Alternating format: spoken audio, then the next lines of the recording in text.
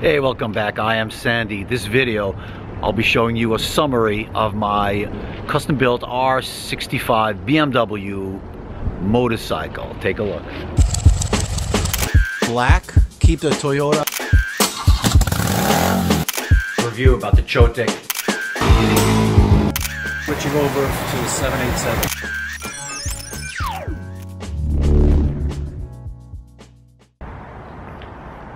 So welcome back again. This video is a summary of this year-old project that I've been uh, running of my BMW 1980 BMW R65. Uh, during the video I'll be uh, showing uh, different parts and different upgrades and different mods that I did to the bike and I will have uh, pop-ups over here on the right or on the left uh, showing the specific video of the actual part and the job that I did on the motorcycle and also I'll have uh, in the description below, uh, below the video in the description, I'll have all the parts, uh, links to the parts that I bought, where I bought them. So if you're interested, you can uh, take a look uh, at the parts and at the video. So let's start with the walk around. I bought this bike uh, about a year and a half ago. This is what it looked like when we just picked it up. John and I picked it up in Rhode Island. And this is a quick look around what it looks like a year, a year and a half after where the project is almost completely done.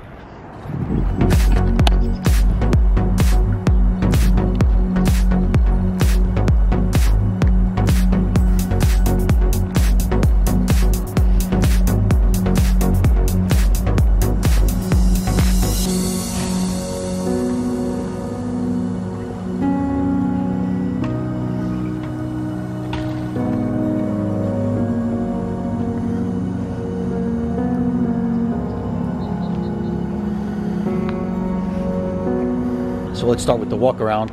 I made a little list so I don't forget anything because uh, apparently I did a lot of upgrades. So let's start with the top. Uh, I installed new handlebars. Uh, took the old ones out, installed these new handlebars.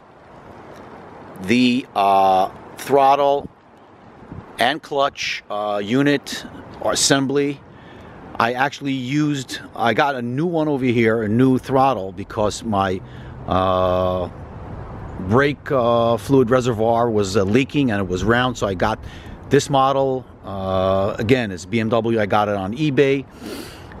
New grips and new uh, mirrors. I actually painted my own uh, levers. And the clutch unit I actually painted re redid it it. Wasn't too complicated I did get a new uh, new brace or new unit because uh, this was old. Uh, so anything I bought, I bought on eBay, and I went ahead and sold my old one. So there's always always somebody that will buy your garbage. This uh, starter uh, and cut uh, kill switch was also I got on eBay new. Fabricated a new mount because I definitely wanted a new speedometer and tach uh, unit assembly. So I just got this Acewell. It's all digital and I installed it instead of the old uh, unit that I had before. Then the front. Uh, front I got new uh, a new headlight. There's also a video uh, of uh, the actual restoration of the previous one. What I initially did was I used the previous one. So this is the second generation already. This is new, brackets are new. New signal lights. I did not have boots before, rubber boots. I added the rubber boots. Painted the forks.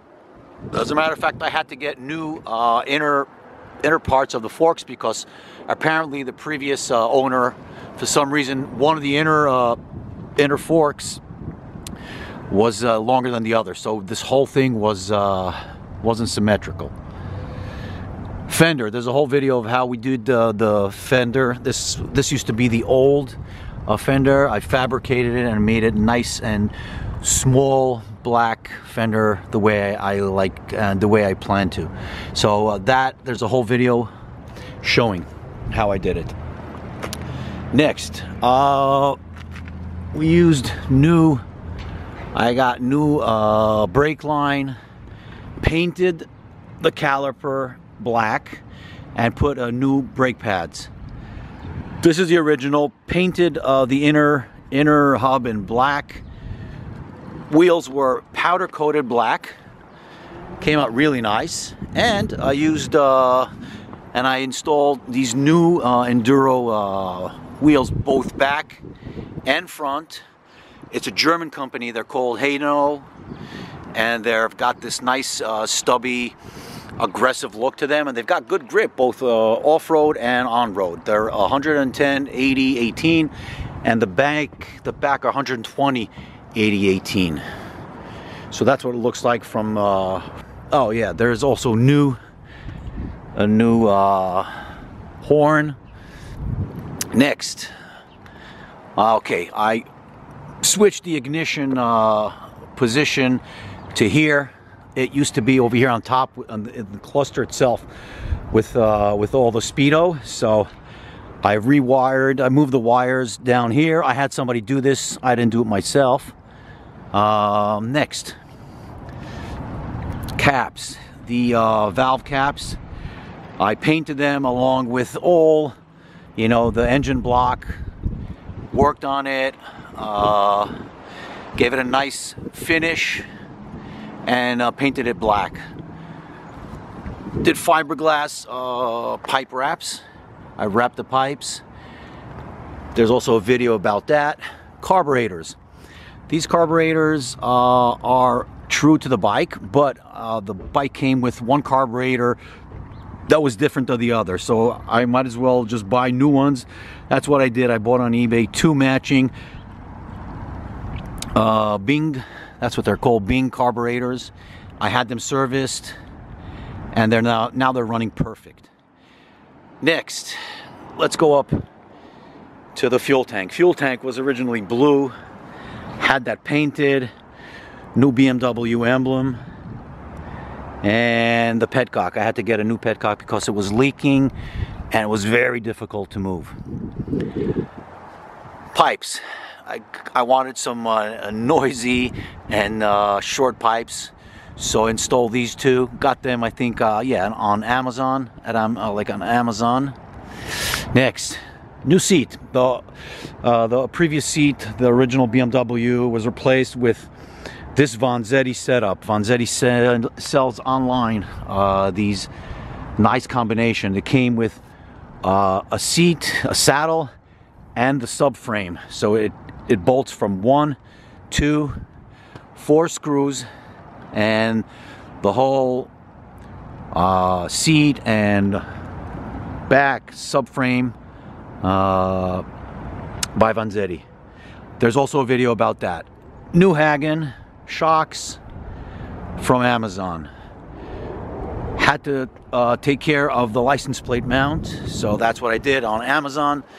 As you can see, I put an LED brake and signal light. Uh, got that on Amazon. There's, I think, uh, we have a short video about that. Fender, fabricated the old uh, fender and just cut it so I have some kind of uh, mud protection and uh, rain protection. What I did with this seat, I don't know if you can see back here, I think there's a video about that. Right under the seat, that's where I placed a new battery. Anti-gravity battery, it's called, 8 cell. I took the original battery assembly out of here, so it, it opens up the whole, the whole area. Next, uh, what else? What else did I forget? Uh, you know, I, I did some uh, touch up, some small paint touch ups here and there. I didn't like, I didn't uh, separate the frame completely uh, from the motor. I didn't want to play around with that, so I just painted whatever I could and polished whatever I could. Got new uh, brake pads back and front. So let me go through my list and make sure that I got everything. Okay, I did find in my list one the thing that I had uh, that I had done I didn't mention. The front bearing. Uh, there's a whole video about that. I had a problem with uh, it was locked. It was locked. It pretty much locked up, and I took it to BMW. They couldn't uh, couldn't fix it. They were incompetent when it came to doing that. So I actually went to my own mechanic, and he fabricated an own uh, his own sleeve that went in between the bearings And last but not least, let's start it up and see what it sounds like.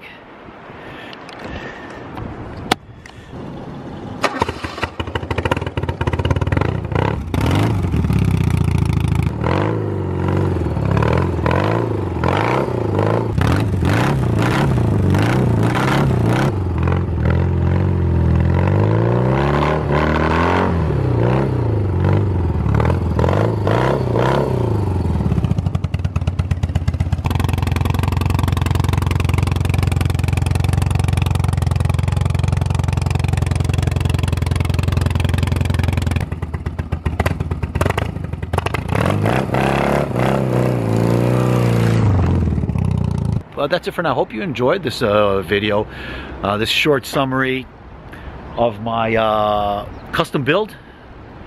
BMW R65 1980 I really enjoy this. I don't think it's the end. I probably might uh, I, I, think I might be doing a few more upgrades. I don't know what but for now I'm driving it. I'm riding it having lots of fun. Weather as you can see is really good now and that's it. If you enjoyed this video, go ahead, uh, give me a, a like, uh, share it with other people that you think might enjoy this video. Until the next video, peace out.